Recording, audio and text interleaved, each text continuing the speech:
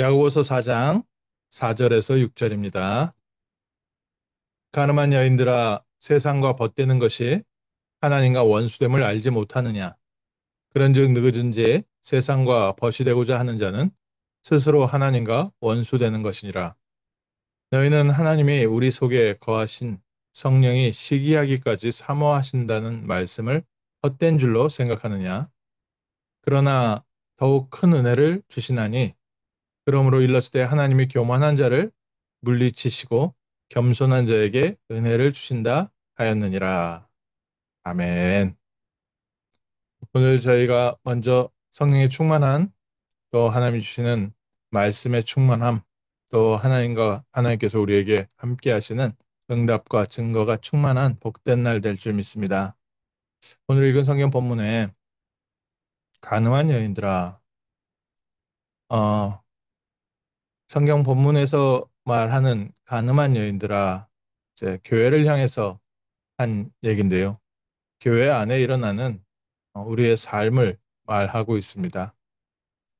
똑같이 하나님께서 타락한 아담과 하와를 부르시면서 아담아 내가 어디 있느냐 창세기 3장에 하나님의 언약을 잃어버린 아담과 하와에게 하나님께서 찾아오셔서 아담아 내가 어디 있느냐. 오늘 읽은 성경 본문에 가늠한 여인들아. 이게 범죄를 한 교회 안에 여자를 지적하는 부분도 되겠지만 하나님의 언약 속에 있으면서 언약을 놓치고 있는 창세기 3장 적 문제 가운데 아직도 그대로 잡혀 있고 그 방향으로 사는 사람들아. 오늘 우리에게 하나님이 주신 큰 은혜가 있는데도 불구하고 우리는 우리가 지금까지 살아왔던 그 관성에 의해서 계속 살고 있습니다.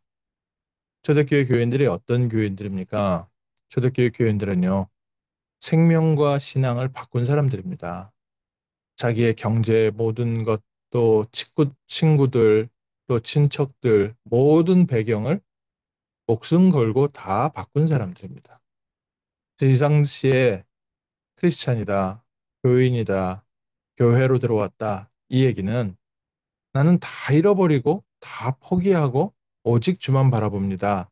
라고 고백한 사람들인데도 불구하고 우리의 현실의 삶에 들어갔을 때는 우리 안에 있는 깊은 영적 뿌리가 쉽게 바뀌지 않는 겁니다.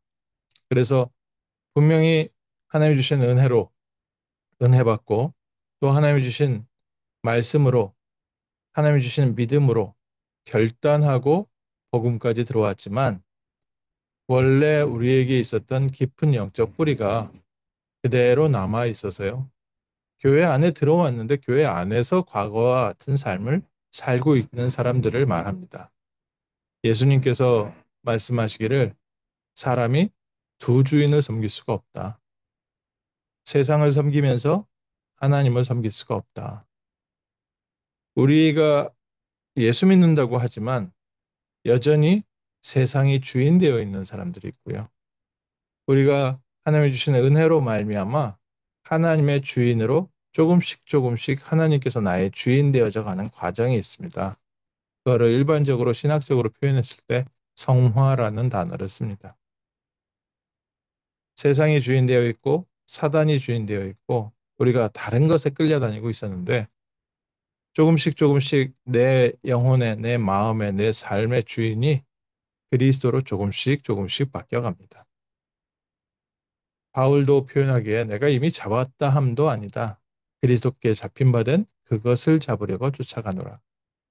그리고 두렵고 떨림으로 너희의 구원을 이루라. 구원받은 하나님 자녀에게 구원을 이루라는 것은요.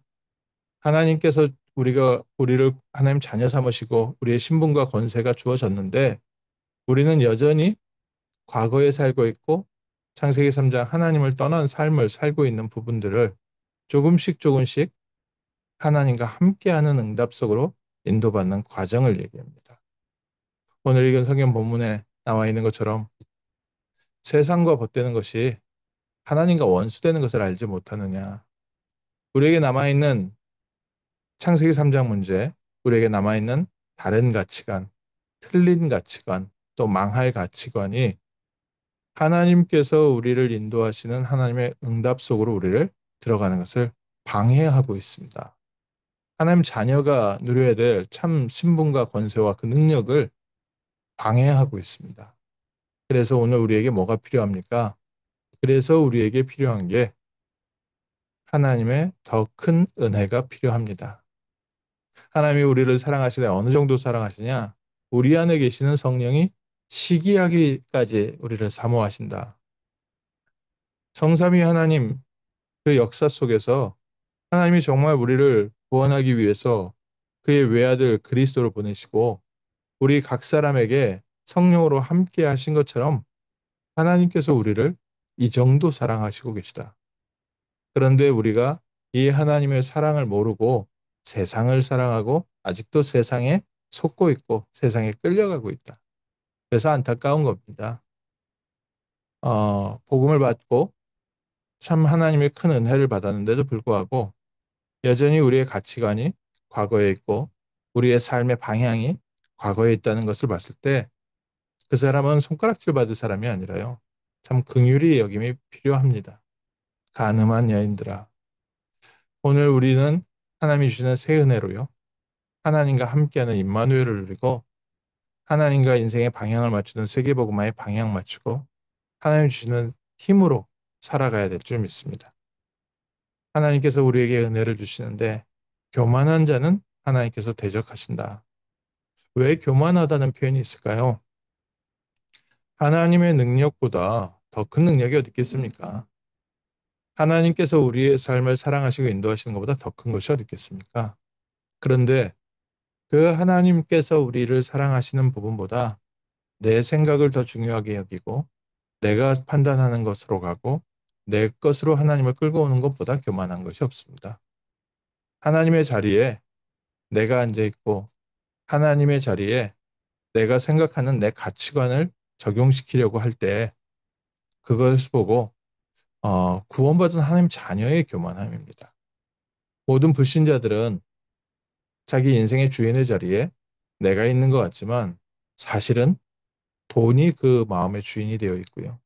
자녀가 주인이 되어 있고 과거의 상처가 그 마음의 주인 되어 있습니다. 그래서 그것에 의해서 끌려서 삽니다. 아예 하나님의 앉아 있을 자리가 없지요. 하나님의 자리가 없기 때문에 모든 불신자들은 사실 영적 교만함으로 하나님의 말씀이 귀에 들리지 않습니다. 우리에게는 하나님의 은혜 주셔서 또 어릴 때 우리가 아직 다른 것을 모를 때 하나님께서 은혜 주셔서 우리에게는 복음을 받고 하나님 자녀된 신분과 권세를 주셨습니다.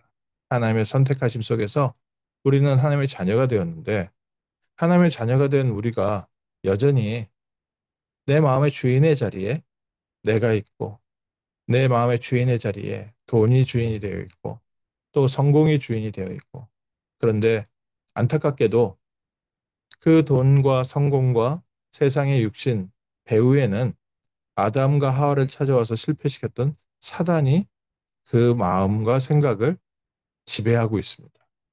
그래서 모든 불신자들이 내가 주인인 것 같아도 결국 사단이 그 주인의 자리에 앉아 있습니다.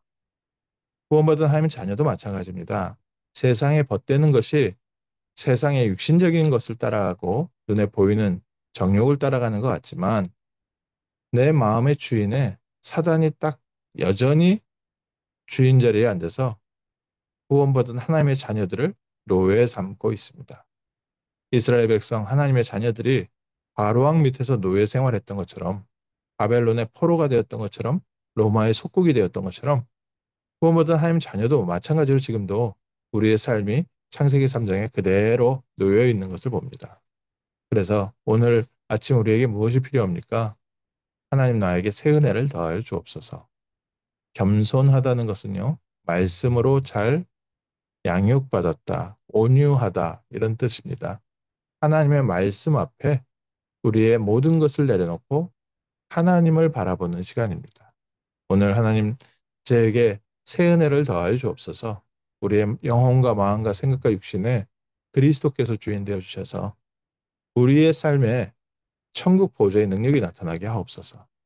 내 수준, 내 생각으로 사는 것이 아니라 천국 수준으로 살게 하시고 하나님의 능력이 나타나게 하시고 보좌의 배경이 나타나게 하옵소서. 내 방법, 내 능력으로 사는 것이 아니라 하나님의 능력과 하나님의 역사하심이 오늘 내가 가는 모든 발걸음에 먼저 역사하여 주옵소서. 출애굽의 역사를 하셨던 하나님께서 광야길을 인도하셨던 하나님께서 가나안 땅을 정복하게 하셨던 하나님께서 오늘 저와 함께 하시고 저를 인도하시는 줄 믿습니다. 하나님과 동행하는 승리의 하루 되게 하시고 우리에게 무엇보다 가장 중요한 하나님의 언약 그리스도를 붙잡게 하시고 우리의 인생의 방향 세계 모금만을 붙잡게 하시고 하나님이 우리와 함께 하시는 능력 성령 충만함을 가지고 세상을 살리는 남은 자 순례자 정복자의 길로 인도하여 주옵소서. 그래서 우리 현장에 하나님이 예비하신 새로운 문이 열릴 줄 믿습니다. 수많은 사람들이 죽게 돌아올 수 있도록 깃발드는 파수꾼이 될 줄 믿습니다. 큰 길을 예비해서 수많은 237의 모든 민족이 주님을 바라볼 수 있도록 주님께 돌아올 수 있도록 중요한 길을 준비하는 축복의 하루 될 줄 믿습니다.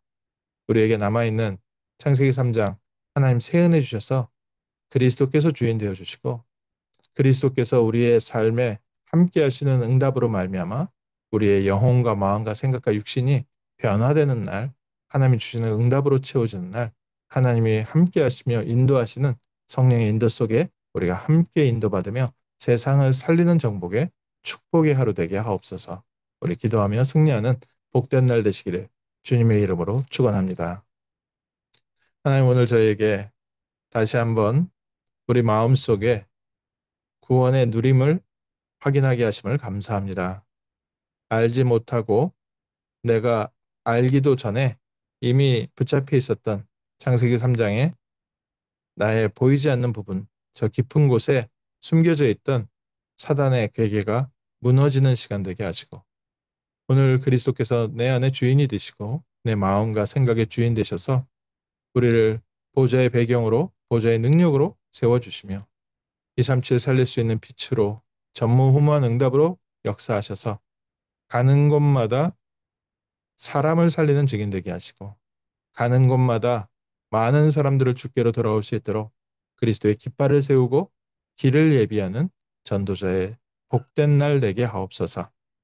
복음 안에서 하나님 주시는 힘으로 남는 자 되게 하시고 이 길을 주님과 함께 동행하는 순례자 되게 하시며 무엇보다 세상을 살리는 정복자의 축복 누리는 복된 하루 되게 하옵소서. 주 예수 그리스도 이름으로 기도합니다. 아멘.